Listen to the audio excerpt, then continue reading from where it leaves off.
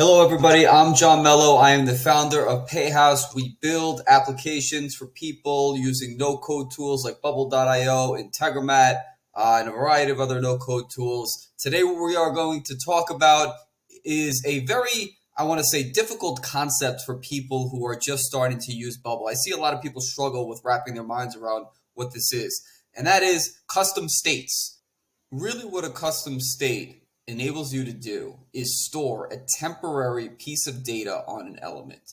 Now, this is a client side action. So if you're familiar with the difference between client side and server side actions, this all happens locally on the user's device or browser that they're working in.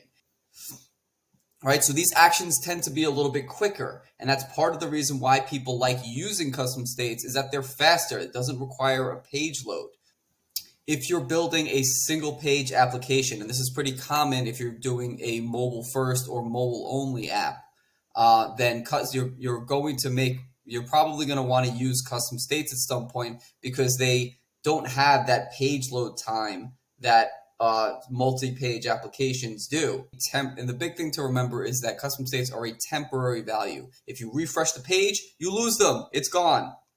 It's gone. But the flexibility in the type of data that you can store on elements. You can store lists, you could store images, you could store numbers, anything, anything really, any piece of data, any custom data type that you've set up in your app, you could store as a custom state. What do I have here so far? On the page already, I'm starting out with some elements. right? so I've got three groups that contain a view and a button. Now, the goal here is going to be to wire this up using custom states so that the uh, when you click this, it hides view 1 and shows view 2. And similarly, here, if you click this, it hides view 2 and shows view 3. And, and, so, and we could cycle all the way through. All right, which is pretty common. You can see that my page is, is prefixed to be a mobile size. If I preview this, right? You can see, and then I, and I'm going to hit Control Shift I. You work in Chrome, you can access Chrome developer tools by using that shortcut. And you can see that you can really pick, choose from a few different devices here. Let's start hiding and displaying these groups using custom states. So I will put a link to this editor so you can see how I set this up. You'll notice that the groups are the same height all right, so the first thing that we notice is that all of the views are on the page at the same time. We don't want that, right? We want only view one to display when the page is loaded. So let's start there. So if I go back here,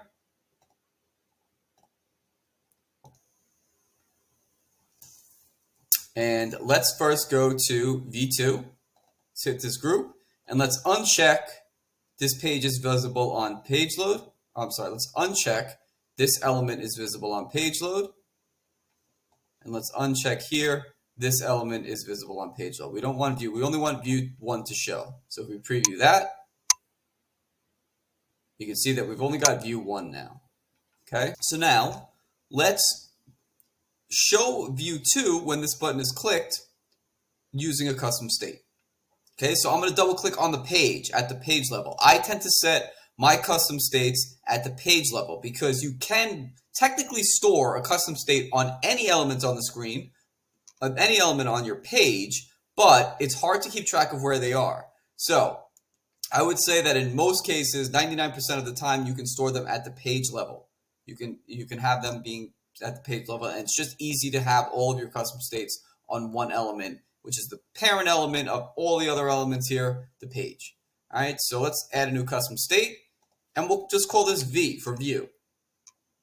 All right, state type is going to be, right, and here this look should look familiar at this point, right? If you've looked, if you've watched my video on data, this is like when you add a column, you have to specify these, the column name and the type of data that's going to be stored in that column. Same concept here. All right, so we're going to use text here, and it's not going to be a list. It's just going to be a single value.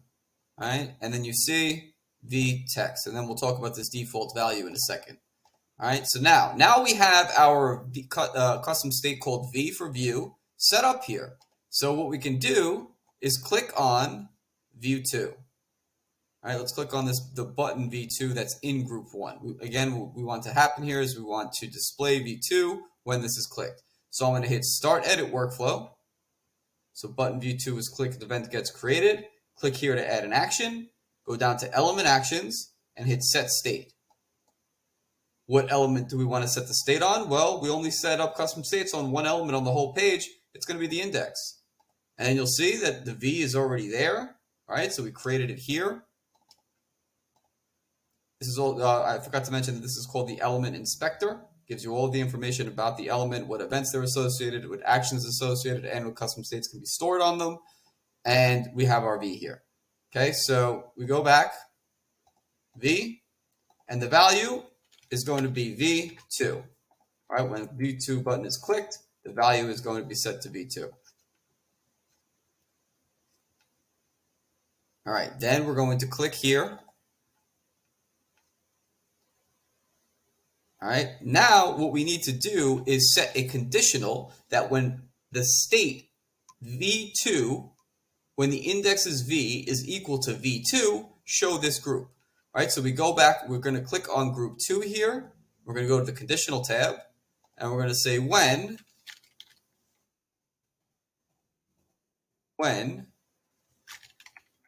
indexes the page, v is v2, this element is visible, and you check that off. All right, so let's preview that. Now check it out. We only have view, view 1 here. And when we click on V2, boom, V2 comes up. So that is successful. That's the way that we want it to happen. When we click this, we V2. Uh, another useful tip about working with custom states. You can't really see what the actual value of the custom state is. There's no visibility into that for you as the developer or the user. So what we can do while we're building this is add some uh, kind of a window into that. And we'll just call this, let's add it. I just put a text on the screen here, view let's call this view equal to indexes v. All right, and then let's move this to the top of the page. If you hit, if you go here, we're in a column layout for this page. I do this, and then go into layout, and I hit make first, that'll bring it all the way up to the top. And we'll also center it and make it an un, not a fixed width. All right. So now you can see, let's just go back and do that again view equals nothing. But if I click V2, you can see that view equals V2. All right, we've got that down here. Let's shrink this down a little bit. Let's make this a zero height. We don't want to take up that much space. All right, this is going to go away. This is just temporary. This is just so we can see what we're working with. We're just trying to see if the values that we intend to set here are actually what's being set. Okay, so now let's do V3. Let's do, let's program this next one, V3. All right, so when you click v, View 3, Start Edit Workflow, and again, we're going to do the same thing here. Click here to add an action, element action, set state. Element is going to be the index again, V, and the value here is going to be V3. And then, again, we go back to our V3, and we go to our conditional tab, or our, our group 3 rather, go to our conditional tab, and we say when index V is V3, this element is visible. Let me check that off. Okay, so let's preview that. Just see what we got going on here, right? We got view equals nothing on the page load. We click view 2. View 2 comes up. We click view 3. And view 3 comes up. It actually replaces it, right? So now the only, and you can see that we have our window here is correct. View 3, like this is correctly showing. Now what we want to do is get rid of V1, right? We don't want V1 here. So let's go back here.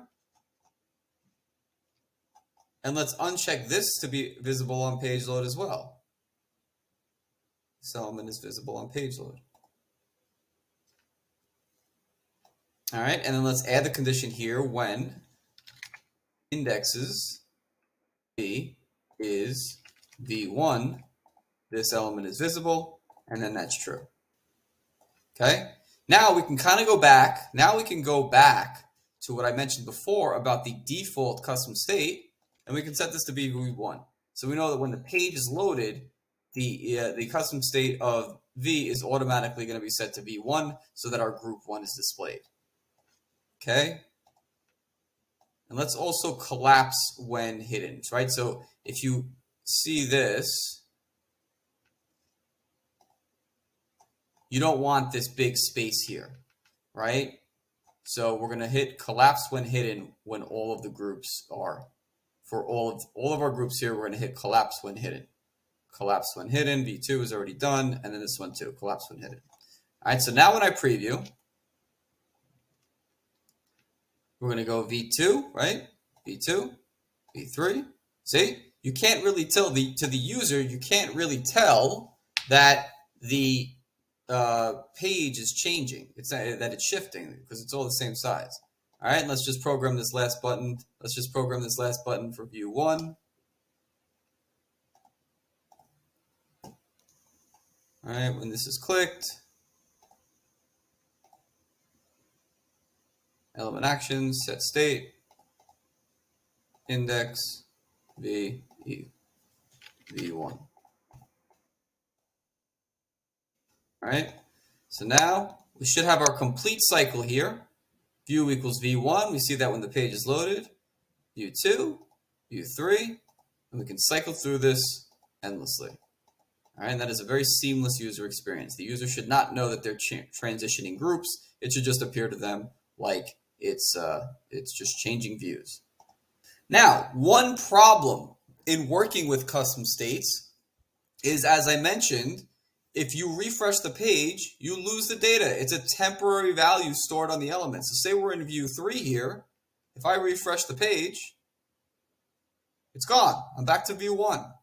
Now, in some cases, that might be beneficial, but in others, it may not be. So let's explore another way that we can navigate through these different groups using a similar methodology two custom states, but one that's a little bit more permanent that you won't lose if you refresh the page. And that we do with URL parameters. So, so I'm going to delete all the logic that I just created. First off, I'm going to get rid of this. I'm going to get rid of my workflows here. Um, let's get rid of, let's also get rid of the conditions here. Remove the conditions. Uh, but we'll leave the uh, element is not visible on page load and the collapse the group when hidden. We're going to need that anyway. All right, that, that won't change. So we'll leave that there. All right, so what should happen when we click on V2 now? This is going to be a little bit different, right? So I'm going to hit Start Edit Workflow. And what we're going to do is go click here to add another action. And this time we're going to go to Navigation and we're going to go to Go to Page. All right, the page that we're going to is the same one. We're still going to the index. We're going to send more parameters to the page. We're going to add another parameter, and we'll use the same nomenclature that we used before. u, v, is equal to v2. Okay. And I actually am going to go back to the, let's, let's make this visible on page load just for this first part here. And then we'll turn that off in a second. So if I refresh the page, now watch what happens when I hit V2.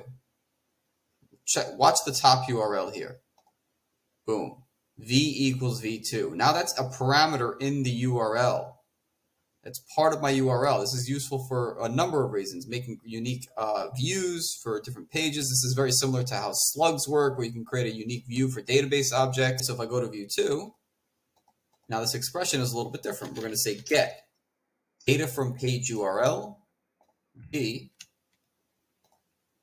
is v2 this element is visible. So same type of conditionals here. Conditional logic does not change. It's just a slightly different expression to look up to the page URL or parameter in the page URL as opposed to the custom state that's being stored on the page. But very similar. So now if I click view 2, boom, we get our view v2 and we also have this parameter set up here. Okay, so let's continue that. Let's do that for the rest of the page as well. So we're going to say for this one, uh, we'll program this button. And I'll do this manually again. But, uh, there's a shortcut here. So we'll go to navigation, go to page, index, send more parameters to the page, add another parameter, v is equal to v2, v3 rather. We're doing v3 now. v3. Then we go to v3. We go to we go to group three rather. We say when again get data from page URL. v is v3. This element is visible, right? So this gets repetitive. Okay, let's preview that and see where we're at.